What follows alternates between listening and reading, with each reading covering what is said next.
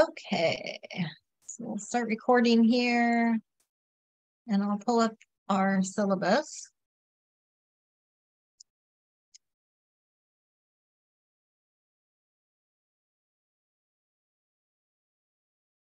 And we are wrapping up week 11 already. I feel like after spring break, it's kind of all downhill. Um, so yeah, next week is week 12 already. And so we have these three class meetings to work on chapter eight. Okay. And chapter eight is now on hypothesis testing, right? So with chapter seven, we started looking at inferential statistics, and chapter seven was all about confidence intervals.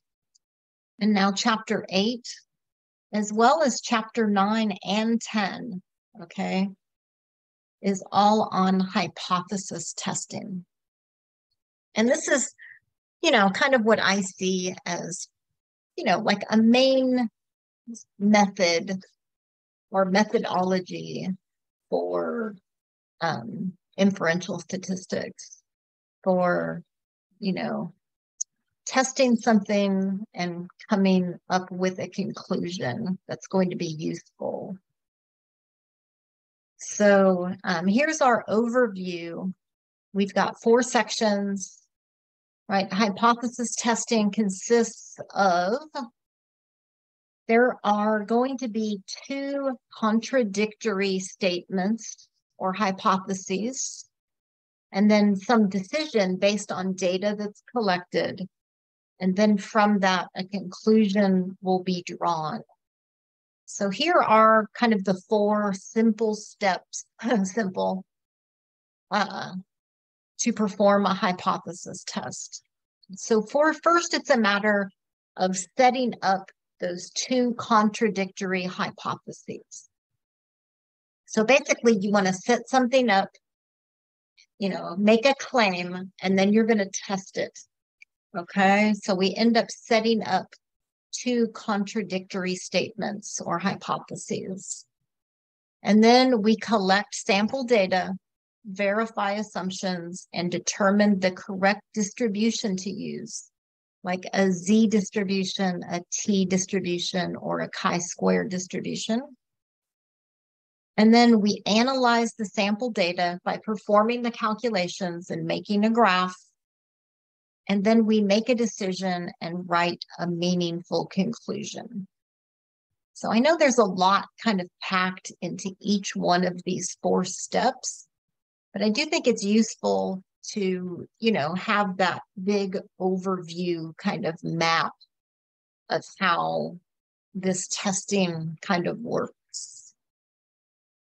So we set up our two hypotheses, we collect the data and all of that. And, you know, that's kind of like the, um, I don't know, I want to say kind of busy work, like, um, you know, it, like in in a real kind of industry where maybe like a corporation and they want to do some kind of testing on um, you know, like a car that's being produced or some kind of product that's being produced. And they might have like a team of researchers or analysts and with statisticians. Um, you know, this st- step two, you know, it can be kind of delegated. Like, you know, someone has to think through, you know, what kind of distribution and all of that. And then, you know, someone else can really kind of collect that data and then the more senior researchers will analyze and make the conclusion. So, anyways, all right, 8.1 is on a testing overview. Um, and we're going to kind of keep coming over this. So, if it doesn't all kind of make sense in the beginning, that's okay. Um, so this is kind of your first exposure to hypothesis testing. You know, it might just seem like kind of oddball-ish. But okay, so again, we start out by considering two different hypotheses.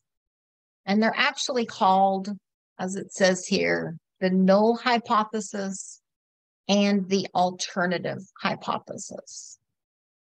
And these two hypotheses contain conflicting or opposing viewpoints. So the null hypothesis is something that we assume is true at the start of the test. And our notation for that is H naught. So that little zero down there, it's a not.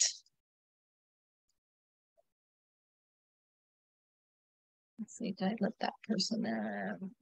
Okay.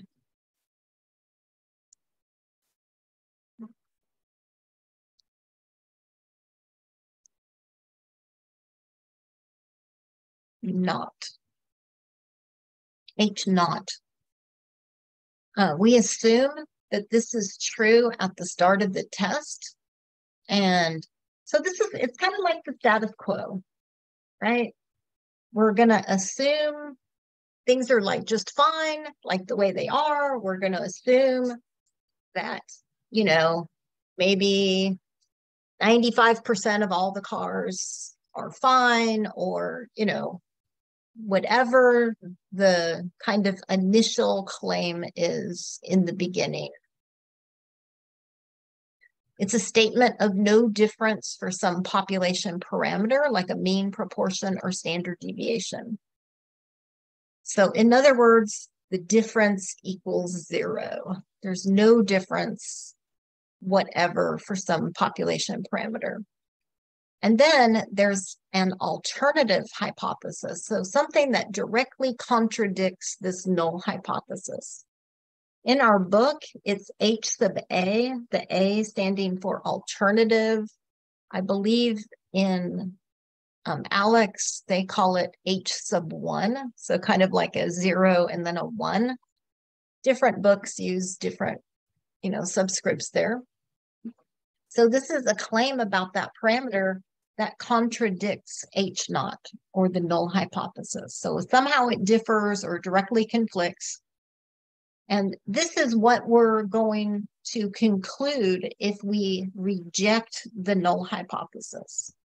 So you have a null hypothesis, you have an alternative hypothesis, and you know, you assume this is true. It's kind of like assuming uh, someone is innocent before proven guilty. Okay. So literally the null hypothesis, we assume it's true, like we assume a person is innocent. Now, if we can, you know, prove the person is guilty, then of course that means they're not innocent. We reject the, the claim that they're innocent. So, um, so that's how we want to set these things up. That says, since the null and alternative hypotheses are contradictory, you must examine evidence to decide if you have enough evidence to reject the null hypothesis or not. And the evidence is in the form of this sample data. So after you've determined which hypothesis the sample supports, you make a decision. And there are basically two options. You either reject H naught, the null hypothesis, or you do not reject H naught. Or sometimes we say you fail to reject H naught, which I know is, is it's a double negative, you know, but that's what we think in terms of. It's kind of like you, um, someone is innocent and then you have failed to convict, right? I believe that would be the correct terminology there. Um, so these little notes, H naught always has a symbol with an equals in it. So maybe like, you know, the null hypothesis is that the mean mu equals something. And then the alternative never has an equals in it. So maybe mu does not equal, or maybe mu is less than, or mu is greater than. And we're going to see. Um, so in practice, most researchers use the equal sign in the null hypothesis, and that is what we're going to be seeing. Okay, so let's just start with that and take a look here at the homework.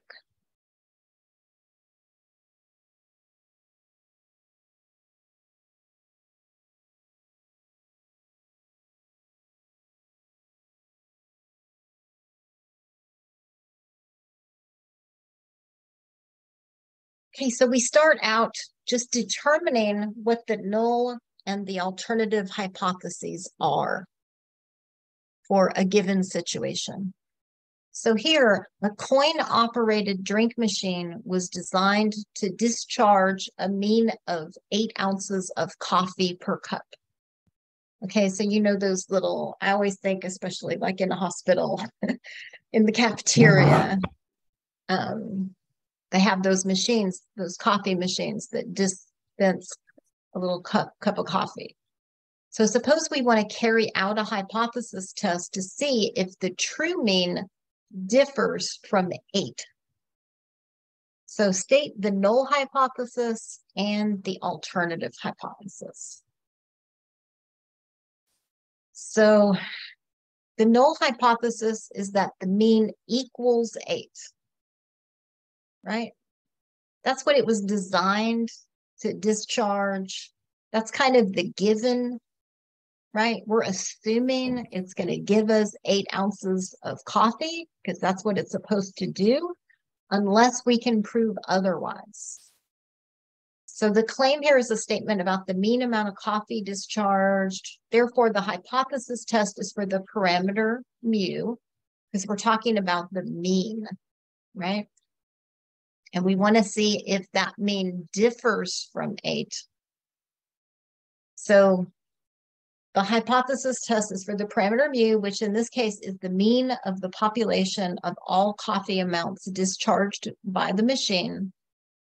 And we want to see if it differs from eight. So that means we want to test to see whether mu does not equal eight. Okay. So the machine is set to mm-hmm. discharge eight ounces of coffee per cup. In our hypothesis test, we would temporarily, temporarily assume mu equals eight and then examine the likelihood of the data under this hypothesis. So the claim mu equals eight is the null hypothesis, and the alternative here is that mu does not equal eight. Okay. And so, you know, again, we look at how the situation is worded. You know, someone might want to say, you know what, I never get a full eight ounces. Like I'm going to test to see whether it's less than eight ounces, right? And then the alternative would be mu is less than eight. So this is what we were saying um,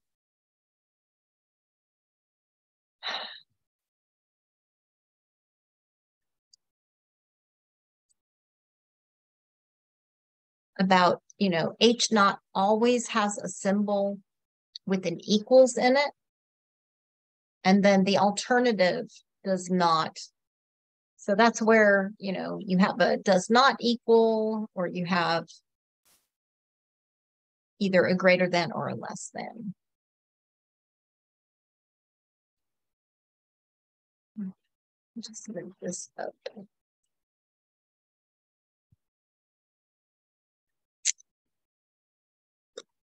Okay.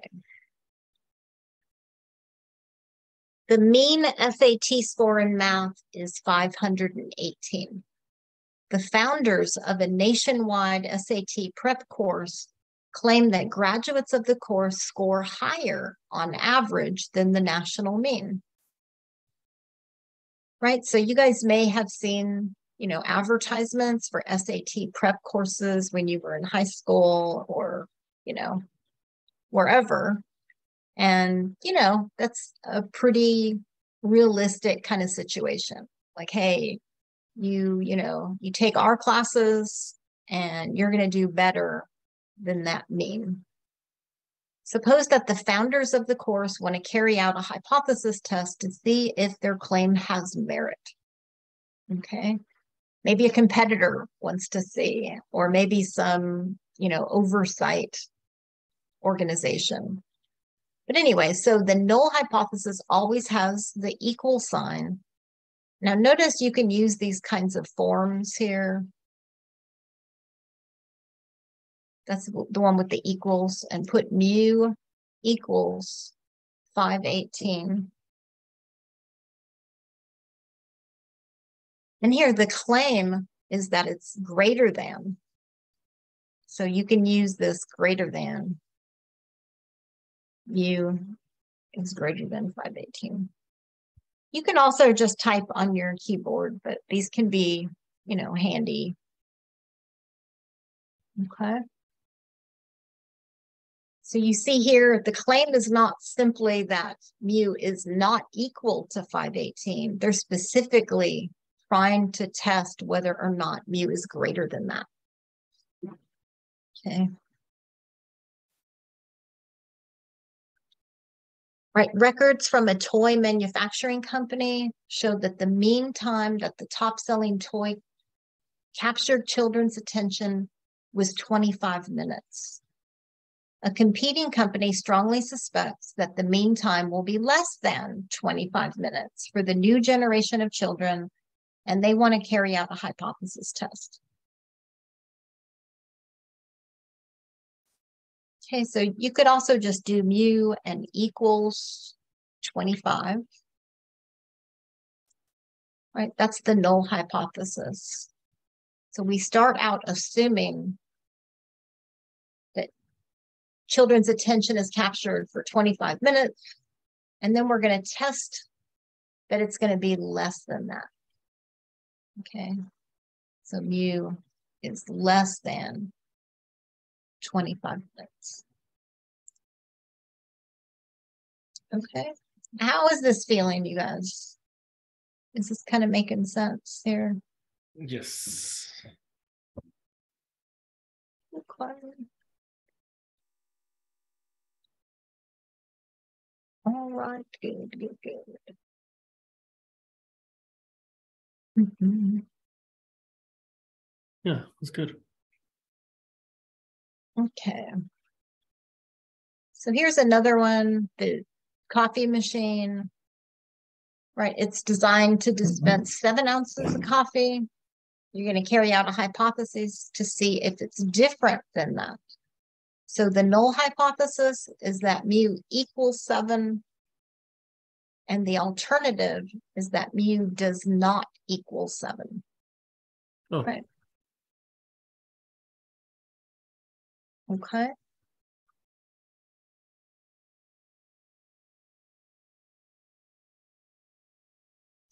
All right.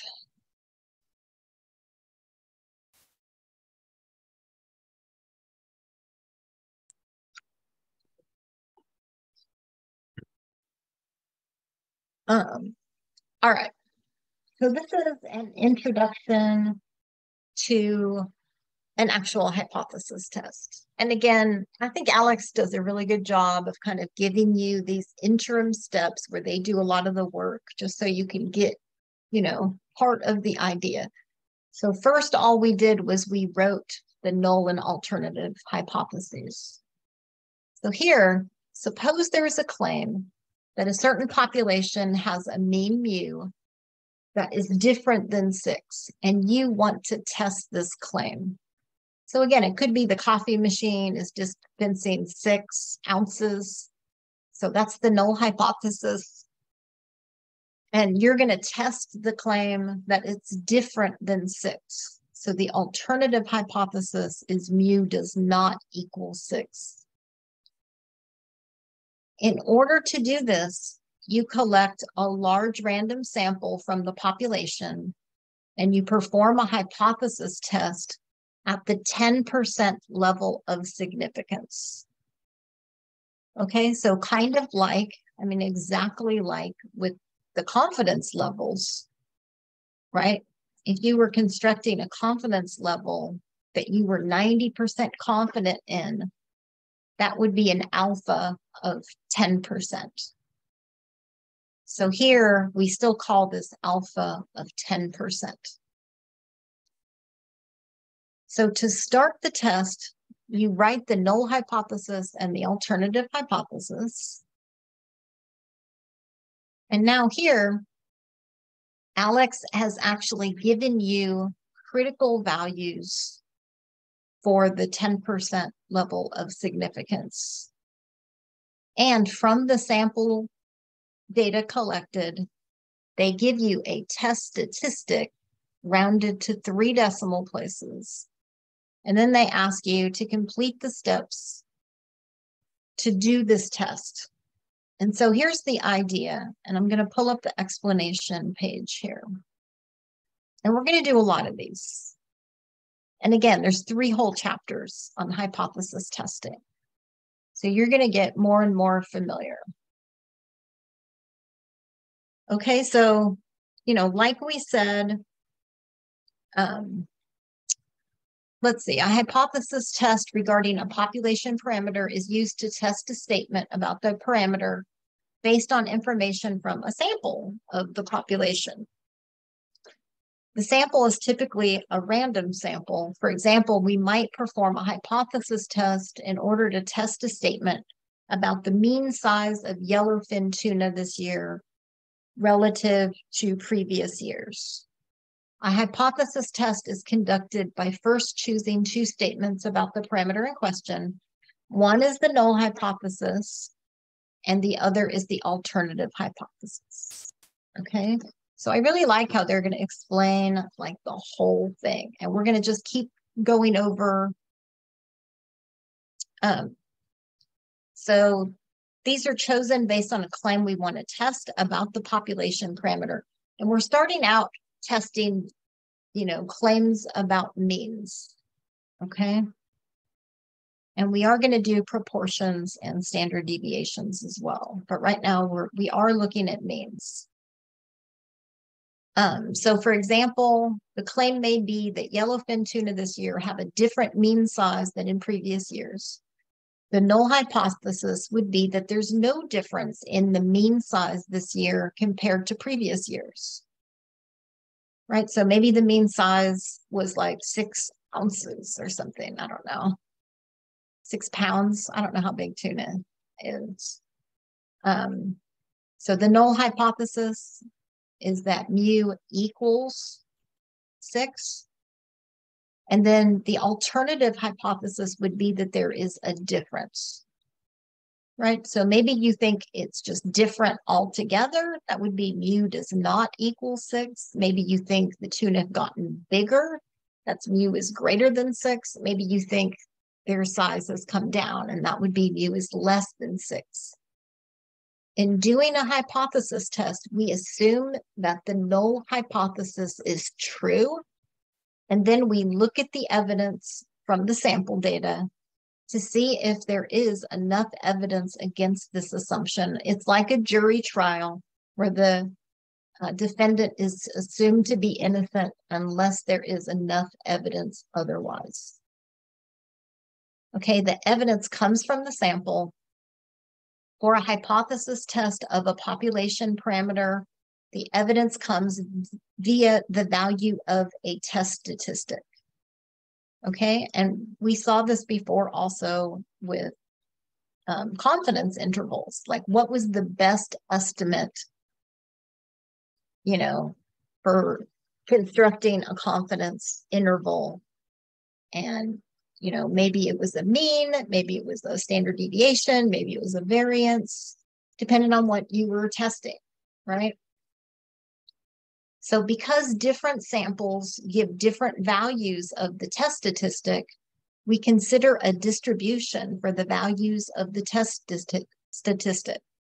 If the value of the test statistic for our sample is unlikely, assuming that the null hypothesis is true, then we reject the null hypothesis in favor of the alternative hypothesis. Right. So, in other words, if we're assuming that, you know, the average weight of a tuna is six pounds, and we take a sample and we find that the average is, you know, like 20 pounds. I mean, it's possible that you could get a sample that differed that much, but probably not, right? So, you know, you're probably going to have enough evidence to reject the null hypothesis. And I'm just trying to give you an idea here of what's going on, right? So again, if the value of the test statistic, like the sample mean, is unlikely, you know, assuming that the null hypothesis is true, then we reject that null hypothesis in favor of the alternative hypothesis. You know, if you don't have enough ev evidence, then you don't reject the null hypothesis. Okay. What unlikely means is determined in part by the level of significance chosen for the test. The level of significance is the probability at which we are prepared to reject the null hypothesis as being very unlikely and to favor the alternative instead. Okay, so here, suppose we're testing a statement about the population parameter mu relative to some value like six, then we have two different types of hypotheses tests, one-tailed and two-tailed. Okay, for a one-tailed test, the alternative hypothesis means you're only looking at like one side or one tail. That mu is less than less than six or mu is right than six, greater than six, right? That's a right-tailed test. This is a left-tailed test. Um, if your alternative hypothesis is that mu does not equal six, then that is called a two-tailed test. And you get these, you know, rejection regions in the tails. Okay, so that's why they're called, you know, left, right, or two-tailed tests. So what we do is we choose a level of significance and consider the distribution of possible values for the test statistic for di different samples under the assumption that H naught is true. And from these, we determine what we're calling a rejection region that contains the values of the test statistic that would be unlikely. Right? So we basically say, look, you know, anything over like 15 pounds or anything under two pounds is going to be so unlikely that we're going to reject the null hypothesis that mu equals six. Just as a little example. Okay. Um, or here, you know, if you got a sample where mu was greater than like 10, maybe that's the cutoff. And, you know, for that, you're going to reject the null hypothesis and accept the alternative alternative hypothesis that mu is greater than six. Okay. So if the value of the test statistic lies in the rejection region, then we reject the null hypothesis in favor of the alternative hypothesis at that level of significance. Otherwise, we do not reject H naught at that level of significance. So these pictures are what's really, really helpful. Baby doll. To give us, you know, the idea. Okay.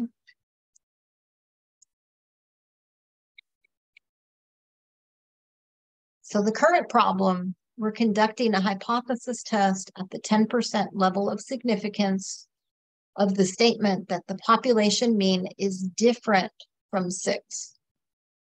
So the null hypothesis is that mu equals six.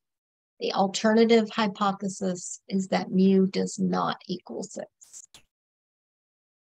So given these hypotheses, Evidence against the null hypothesis comes when the value of the test statistic is some number far from zero, either positive or negative. This corresponds to the fact that H1 or the alternative hypothesis contains the symbol does not equal to. So this is a two-tailed test. If evidence against H0 came only when the value of the test statistic were a negative number, we would focus on the left tail. And if evidence came only when the value were a positive number far from zero, we would focus on the right tail. Okay. And so we're going to standardize the data instead of talking about like a tuna that's greater than 10 pounds or whatever you know, we're going to be using z-scores. So we have standardized this normal distribution.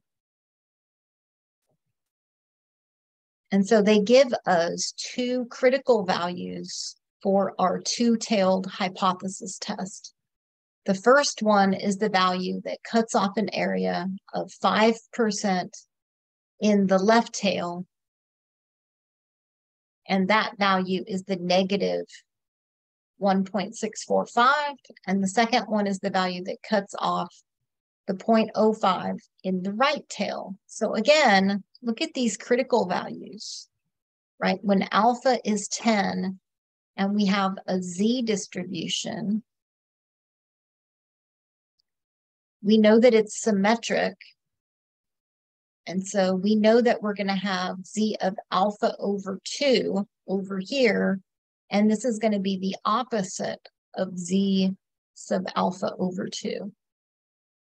So this is z sub 0.05, right? Oops.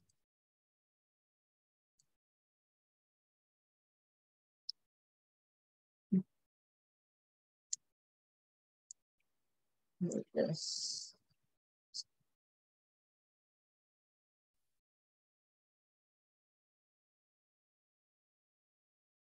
z of 0.05. And this is the opposite of z of 0.05. Okay.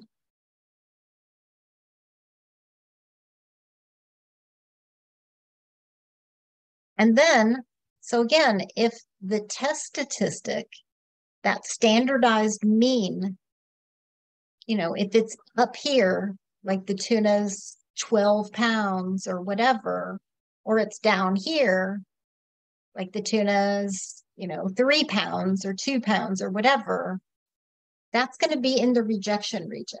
Like it would be very unlikely to get a mean, not just one tuna, but a mean when you take a big sample, right? The likelihood of getting a mean that's that extreme is very unlikely.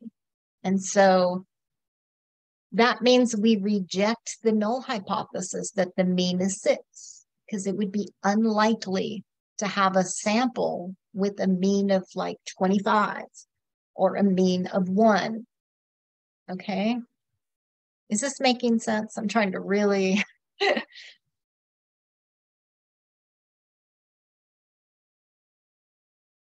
so again, in this ALEKS topic, they give you the critical values, they give you the test statistic. So the test statistic is 2.041. And that turned out to be in the rejection region here. Okay, the value of the test statistic lies in the rejection region. If it's in either one, it's in the rejection region. Therefore, we ought to reject that null hypothesis at the 10% level of significance. Okay, so again, I know this is a lot. But this is the deal. Okay. So let's see another one. Suppose there is a claim that a certain population has a mean mu that is different than 8. and you want to test this claim. So to do so, you collect a large random sample from a population, from the population, and perform a hypothesis test, again at the 10% level of significance. So to start the test, you write the null hypothesis and the alternative hypothesis, right? Because this one says it's different than eight. So that's the mu is not equal to eight. Right. Again, they give you the critical values and they give you the value of the test statistic. So that is the sample mean that's been standardized to a z-score. Okay. Since we have mu does not equal 8, the not equals means it's a two-tailed test. And then we can enter these two critical values There's one. And here's the other one. And then we enter the test statistic. And we can see that the test statistic falls inside that rejection region. So we're going to reject the value of the test statistic lies in the rejection region. So the null hypothesis should be rejected. Okay.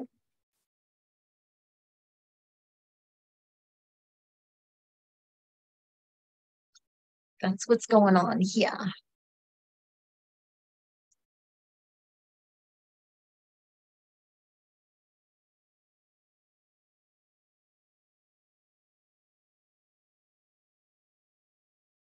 All right, here Suppose there's a claim that a certain population has a mean mu that is greater than six, right? That's the claim. So the null hypothesis is that it equals six. The alternative is that mu is greater than six. So to do so, to test the claim, you collect a large random sample, and now we want to perform a hypothesis test at the 0.05 level of significance. To start the test, you write the null hypothesis and the alternative hypothesis. They're giving you the critical value. And they're giving you the value of the test statistic. So again, that's the sample mean for the sample that you collected, and it's been standardized to a z-score. Since you have mu is greater than six, this is a one-tailed test.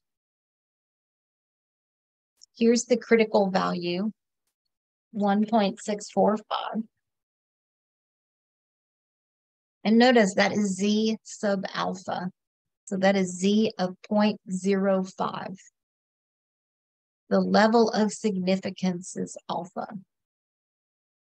Okay. And notice it's not alpha over 2 because you just have a one-tailed test here.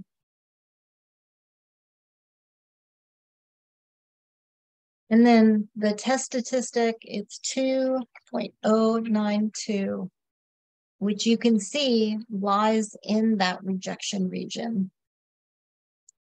So the null hypothesis should be rejected. Okay.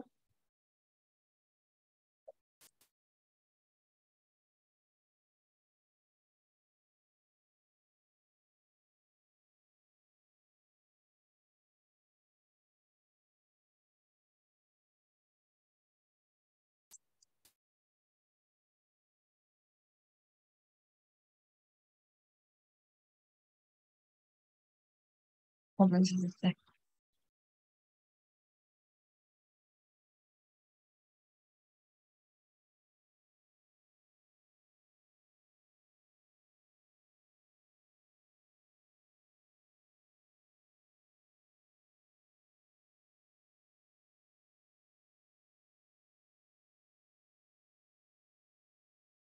Okay.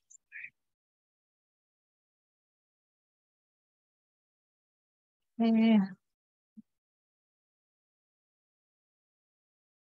And here's another one where the alternative hypothesis is a one-tailed test to the left. So this is good. So we'll see some of all kinds. Uh,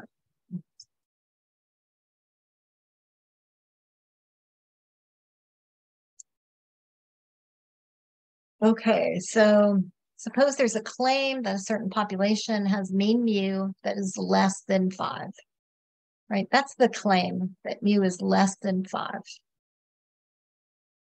The null hypothesis then is that mu equals five. So to test the claim, you collect a large random sample. Here you're performing a hypothesis test at the 10% level of significance again. And then to start, you write the null and alternative hypotheses. They give you the critical value. And that critical value is, you know, the opposite of Z sub 0.1, right? Alpha is 0.1. So this is a one-tailed test. We put the critical value here, right? That's the opposite of Z sub alpha. And you enter the test statistic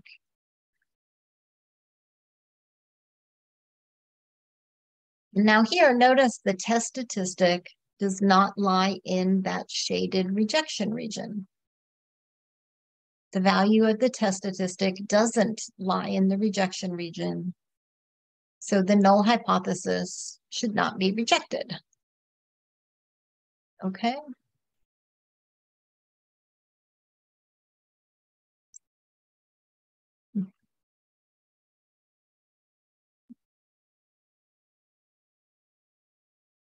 All righty.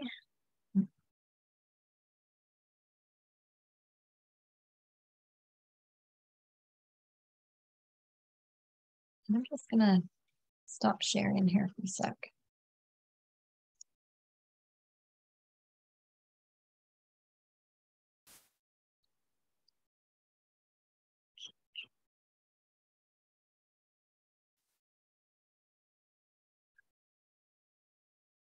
Okay.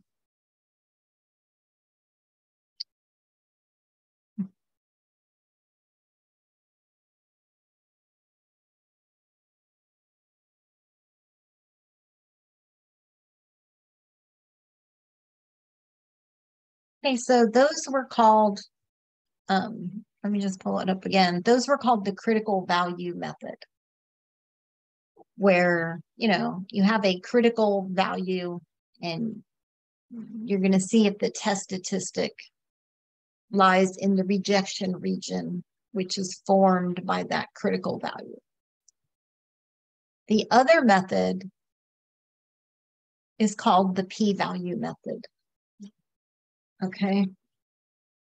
So same idea. Suppose there's a claim here that a certain population has a mean mu that is less than nine. So the null hypothesis is that mu equals nine. And the alternative is that it's less than nine. You want to test this claim, collecting a large random sample at the 10% level of significance. Okay, to start the test, you write those hypothesis, hypotheses. You also know that the value of the test statistic based on the sample is negative 1.572 and that the p-value is 0.058. So now let's just see the ALEKS explanation.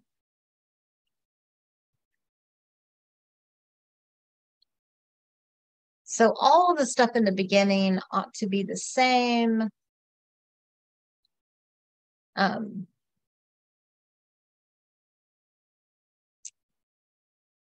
but some some differences here.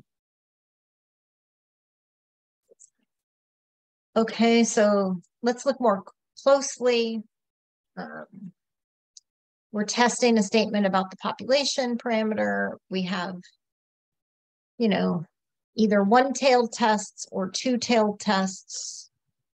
Once we know what type of test, hypothesis test, we can use the value of our test statistic to compute the p-value. Now, the p-value is the probability of observing a sample like the one we got, or one which provides even more evidence against the null hypothesis, assuming that the null hypothesis is true. The smaller the p-value, the stronger the evidence against the null hypothesis. It's really the probability that you would have, you know, gotten such a statistic given that the null hypothesis is true. So back to our lecture notes here right? Once we know the type of hypothesis test we're performing, we can use the value of our test statistic to compute the p-value. The p-value is the probability of observing a sample like the one we got, assuming the null hypothesis is true. And so if the p-value is less than or equal to the significance le level, then we reject the null hypothesis in favor of the alternative. Otherwise, we don't reject.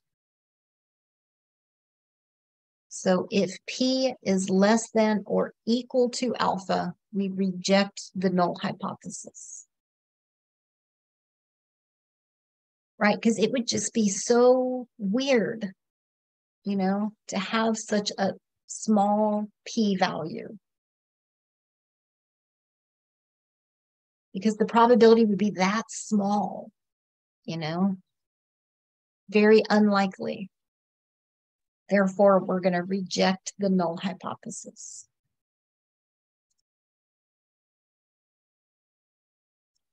Okay, so same basic idea. You have a left-tailed test. And so this is that p-value, the area under the curve to the left of the test value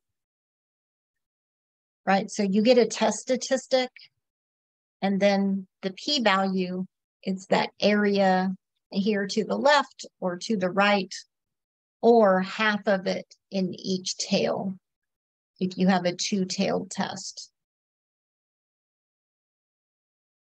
Okay, so still those are, you know, kind of like rejection regions but it's really in comparison to the level of significance. Okay. If the area is less than the area of 10%, then you're going to reject less than or equal to. Okay, so for this current problem, you have mu, the claim is mu is less than nine. So that's a one-tailed or a left-tailed test. They give you the test statistic is negative 1.572. And then you can shade, you know, to the left of that. And then you can enter the p-value, which is that area to the left. Okay.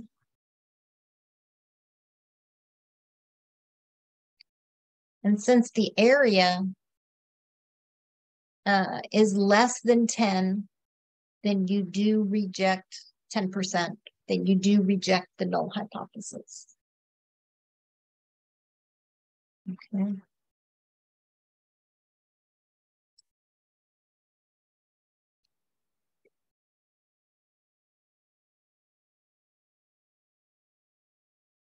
So here they give you the p-value but we know how to get that p-value, right?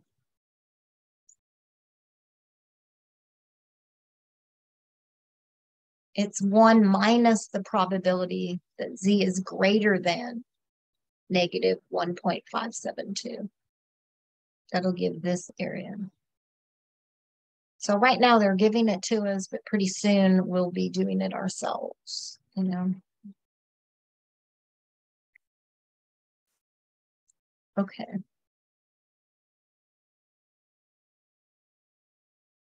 So here, suppose there's a claim that a certain population has a mean mu that's different than five. You want to test the claim, you collect a large sample, you write these two hypothesis statements at the 10% level of significance. You find a test statistic based on your sample is negative 1.506 with a p-value of 0.132. So this is a two-tailed test. Now notice what happens when I enter the test statistic.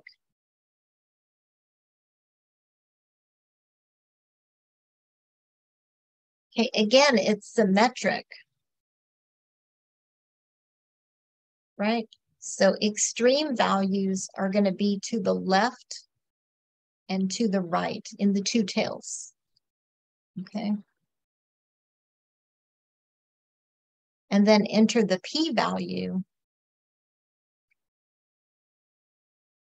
So that's the area in the two tails. Half is in the left, half is in the right. Okay. So notice the total area, it's 13.2%. So you have 6.6% and 6.6%. Or 0.132 divided by 2 here, 0.132 divided by 2 here.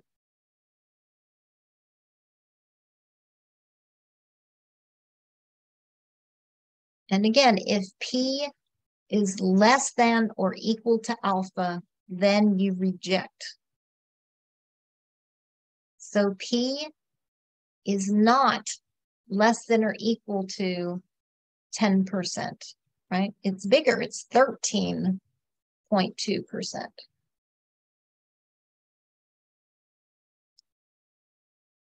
So we do not reject the null hypothesis. The p-value is greater than the level of significance. Okay.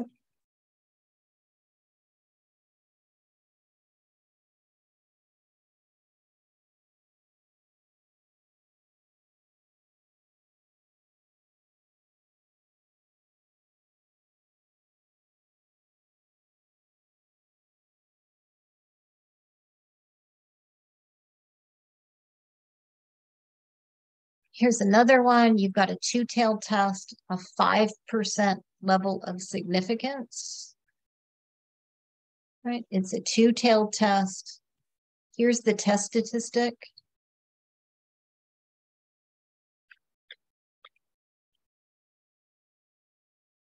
So again, with a Z distribution, these are symmetric.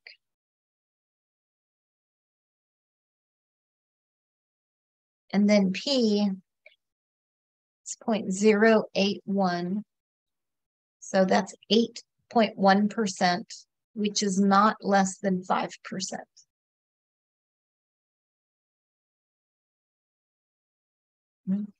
And notice that 8.1%, it's split in the two tails.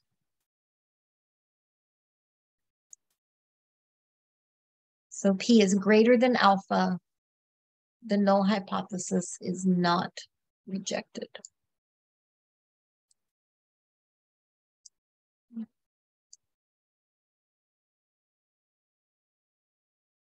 Okay.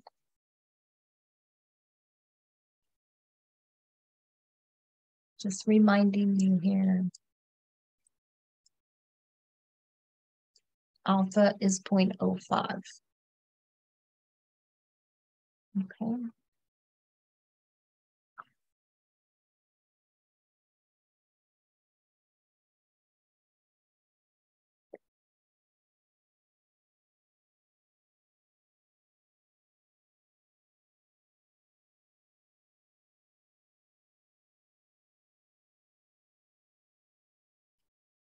All right. So here we have a two-tailed test because it's not equal to. Right, you've got the test statistic.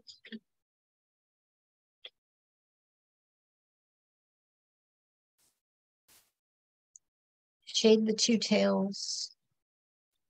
Here's your p-value. And notice it puts half that in each tail. And now P, right, is less than alpha. Okay. So we do reject the null hypothesis because the probability that your sample would have had, you know, a test statistic like this, it's so very small, right? It would be really unusual. So we're going to re, you know, that's assuming that the null hypothesis is true. It would just be so weird. So that's why reject, we reject it. Okay, I'm trying to have that make sense.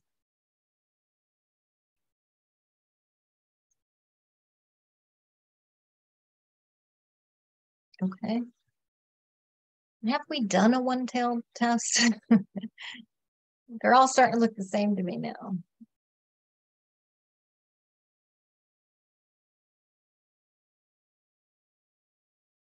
Let's see. It's a lot of two-tailed tests. Here's a one-tailed test. Suppose there's a claim that the mean is greater than eight. The null hypothesis always has the equal sign. You want to test this, you collect a large random sample. You want to test it at alpha equals 0.10, the 10% level. Okay, so this is a one-tailed test. The value of the test statistic is 0.719. The p-value to the right because it's greater than. The p-value is 0.236 which is not less than 10%. It's greater than 10%.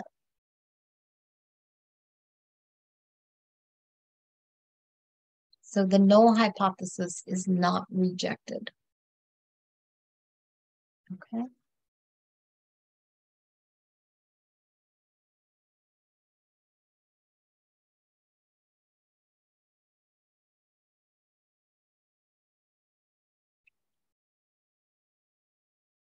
Hopefully this is starting to feel a little better the more we do these.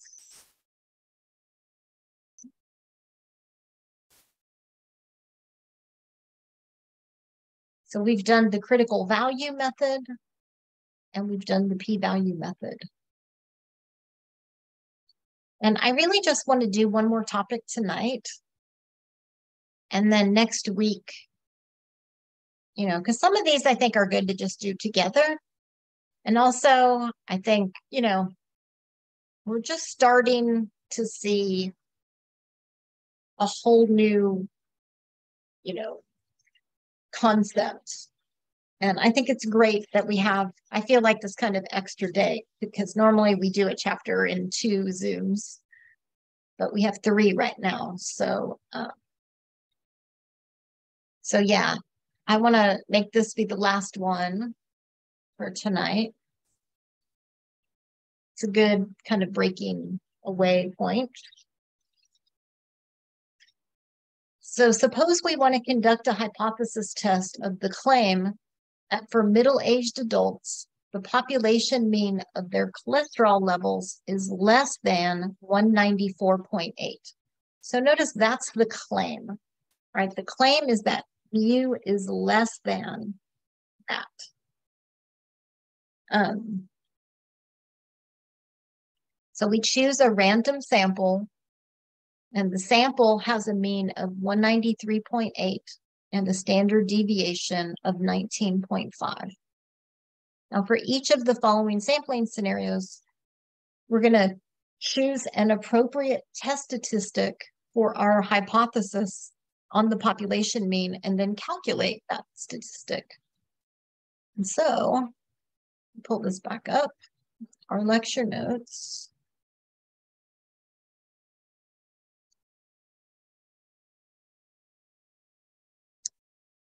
Okay, so first, to remind you of when we use Z for the sampling distribution and when we use T, right? I've tried to kind of summarize down here, right? So when you have a normal distribution, if you know sigma, then we use Z.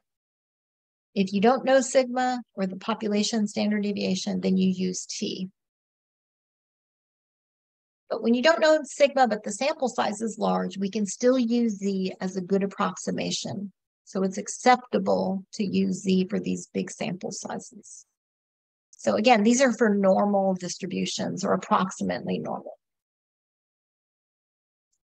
And then suppose that the population is not normal or we don't know that much about it. If the sample size is large and you know sigma, then you can use Z.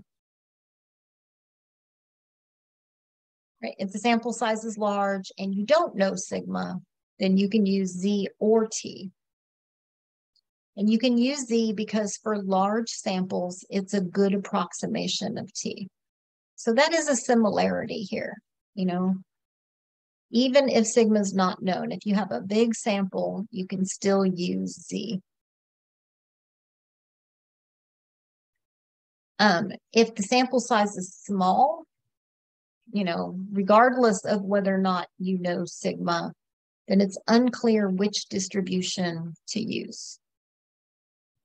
Okay.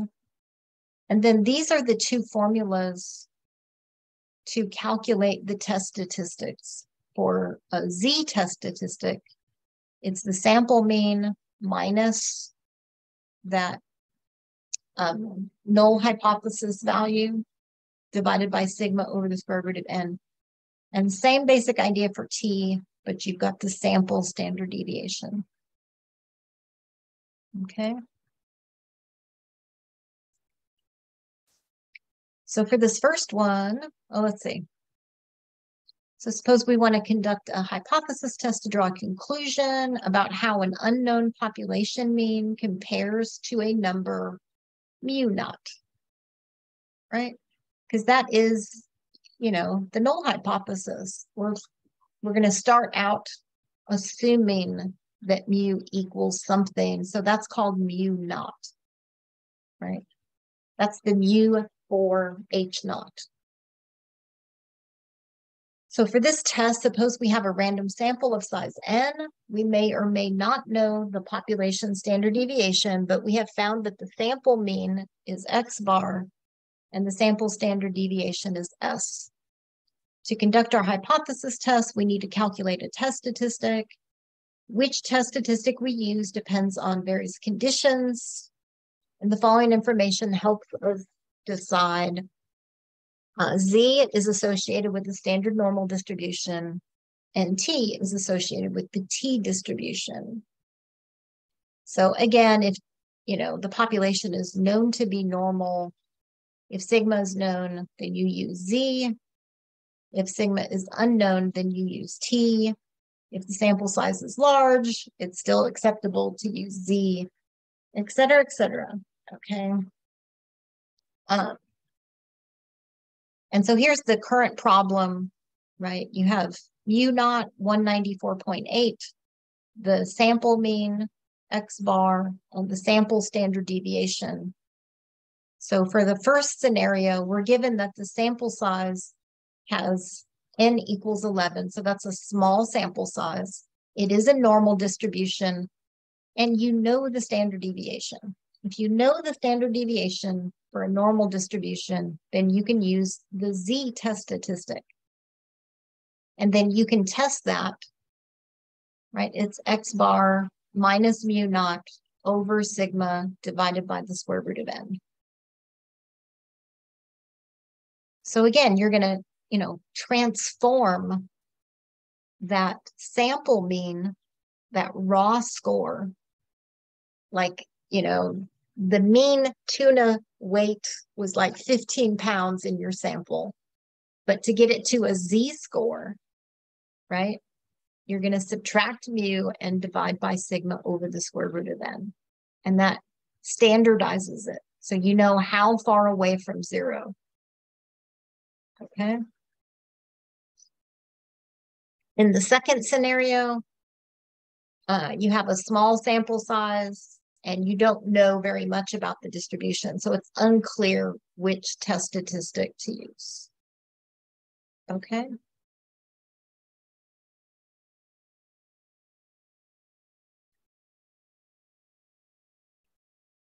Let's see another scenario maybe. Okay. We want to conduct a hypothesis test of the claim that the population mean score on a nationwide examination in biology is different from 530. Okay. So that is our mu naught right here.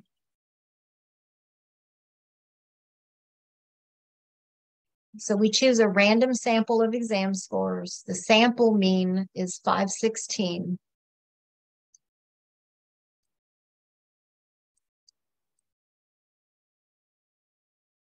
And the sample standard deviation is 73.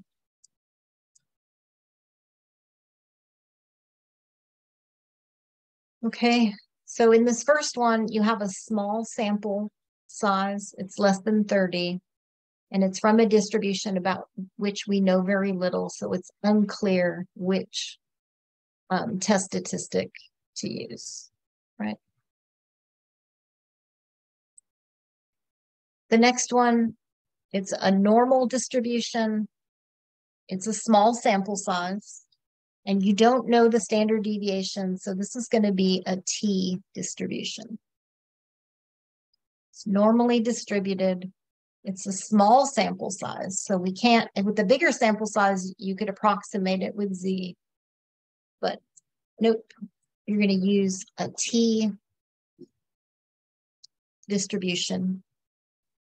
And so to calculate the T statistic, it's X bar minus mu naught over S minus square root of N. Okay. So T equals X bar was 516 minus mu naught, which was 530,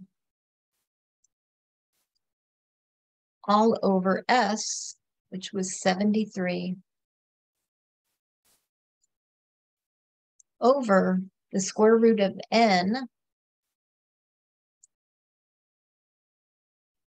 Um, and that, that's given us here is 11. Okay.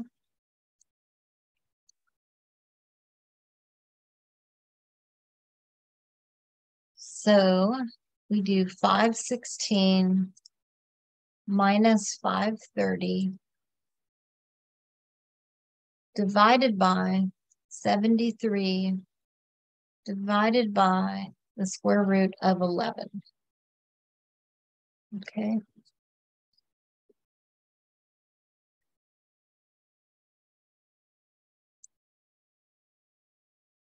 Does it not say how many decimal places? Hmm. Oh, here it is. Round your answers to two decimal places. So negative 0 0.64. Oops. Negative 0 0.64. Okay.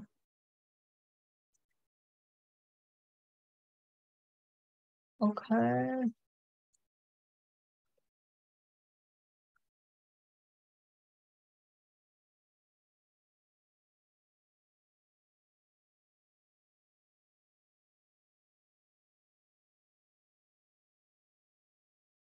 And you know, next week we're going to put it all together. You're going to write the hypotheses statements.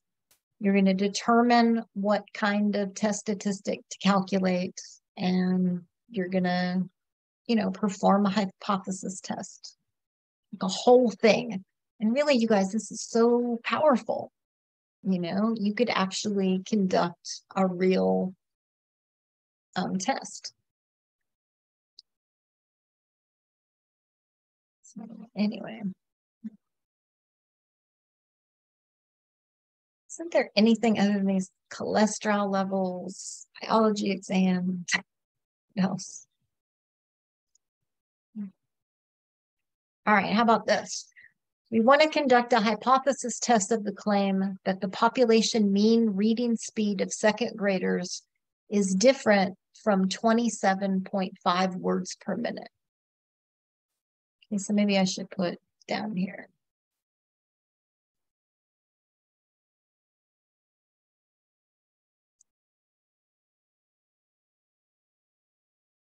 Uh, the sample has a mean of 27.2 words per minute and a sample standard deviation of 2.2.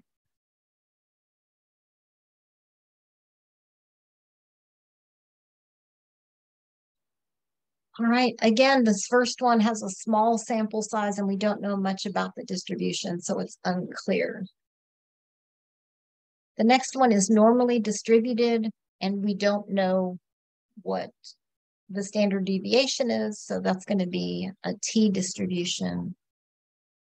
And so again,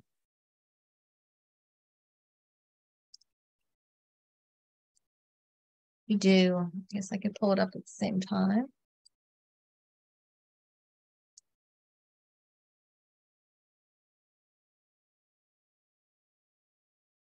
We use that formula there.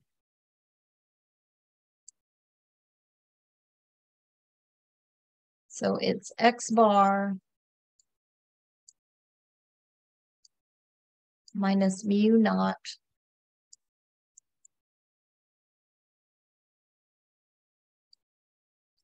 over S divided by the square root of 10.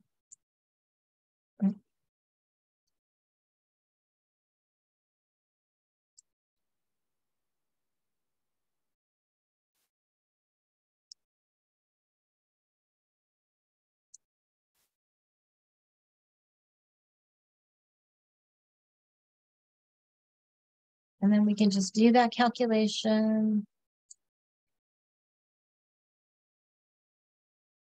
Okay. And then round to two decimal places. So negative 0.43.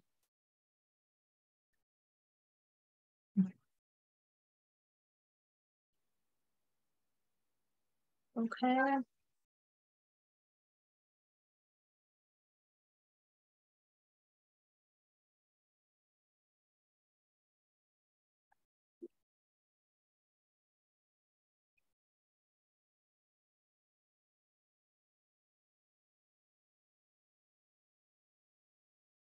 All right, so I do want to just stop here.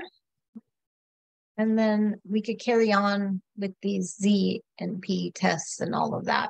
but I feel like kind of once we start, it's good to do it all, you know, on in the same class. And there's no need to do, you know, like over half of the homework today. So um, we'll take it easy after the old test. and